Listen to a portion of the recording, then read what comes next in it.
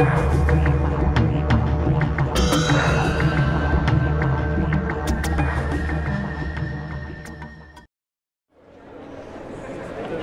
Hello, everybody, welcome. My name's Gabrielle Kelly. I'm the Director of the Adelaide Thinkers in Residence.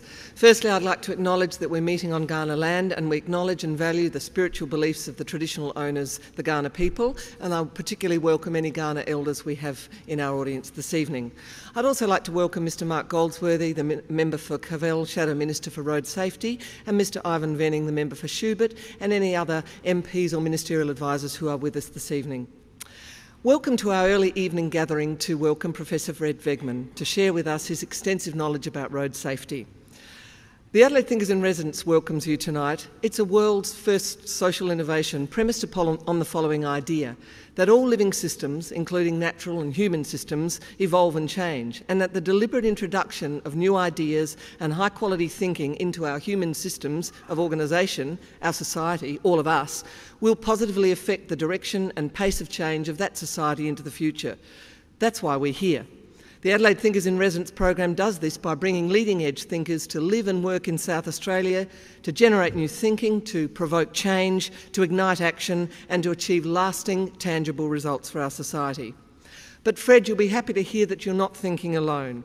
You met a number of colleagues from Parliament last night and you had a reception with the Premier. And here this evening you have a cross section of nurses, engineers, traffic and civil engineers, researchers and academics, local government councillors, insurance, insurers, information communication experts, road safety and transport specialists, vehicle safety technologists, driving school personnel, police, educators, statisticians, health professionals, and I'm pleased to hear the crash investigators are here.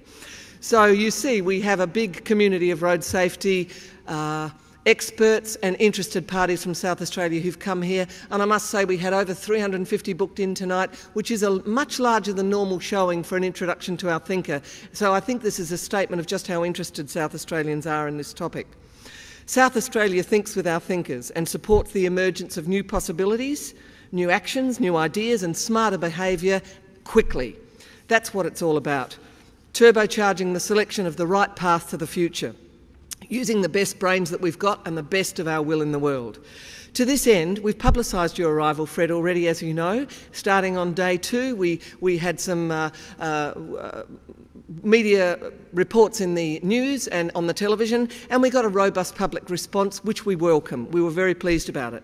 To that end, we've also created a blog, blog for Professor Wegman, and I'd like to give you all of the address, and you can follow the link to the blog from our website, www.thinkingroadsafety.com.au. That's an opportunity away from the government site, away from the Thinkers site, for anyone in South Australia to put their views forward to Professor Wegman and to be heard. We're serious about trying to promote the community conversation in this topic as part of this residency, and we would love your help there. Our partners also think with the thinker, and I welcome particularly and thank our partners in this residency South Australia Police, RAA, Motor Accident Commission, Department of Education and Children's Services, Department of Transport, Environment and Infrastructure, the City of Unley, the University of Adelaide, Flinders University, and University of South Australia. You know who you are and you've already begun the work. You know and we know that we'll continue this hard effort until well after Fred leaves us. It is the people here, and very often the people in the partner group, people on the ground who will choose or not choose to drive forward Fred's ideas and recommendations for change. So we know we're all in an active change process, and I sincerely welcome all of you here tonight into that process. In our seven years of operation, the Adelaide Thinkers in Residence program has had outstanding success. It's delivered positive changes into South Australia quickly. And I keep saying the quickly word because the future's going to come anyway and change happens all by itself. But what is open to the leadership group of a society is what kind of change and when. And by entering into a change process like this where we actively and consciously focus on an area as important of road safety, we know we're going to get a better result than if we just amble forward into the future. So I think it's very high stakes work. Since 2003, the program has resulted in way more than $200 million worth of investment into programs and infrastructure. It's resulted in major policy advances in health, in water, in sustainability and innovation, which now leads South Australia into having a leadership position in a number of areas, including renewable energy and water. We have new structures and organisations which have been created. Many of you would know the RiAus, linked to the RI in London, which promotes science education, with $15 million funding from the federal government very recently.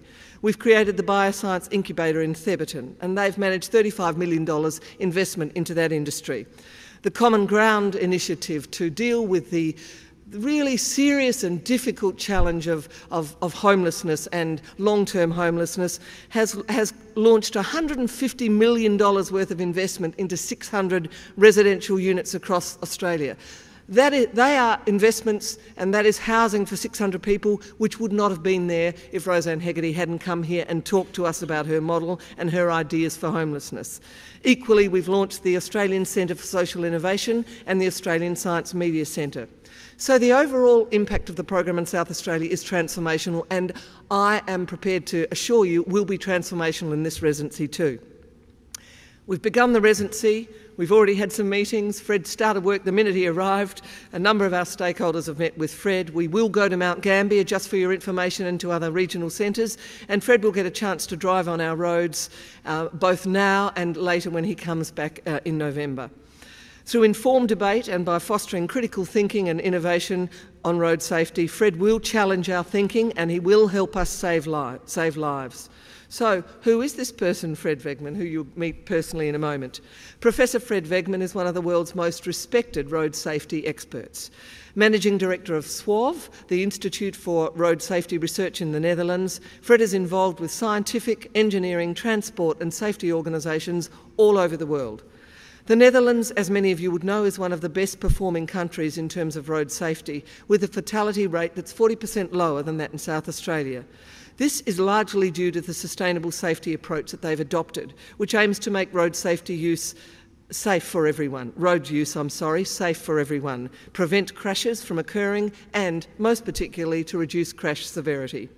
Fred is the President of the International Traffic Safety Data and Analysis Group, a member of the Steering Committee of the Road Safety Performance Index, European Traffic Safety Council, and chairs the core advisory group of the Global Road Safety Facility in the World Bank.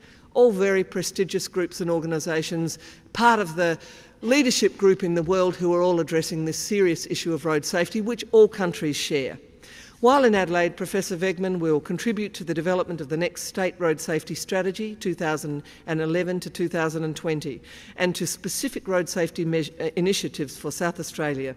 Fred, it's my pleasure to introduce you to this wonderful audience here and to introduce you to Professor Fred, Fred Wegman. Over to you, Fred.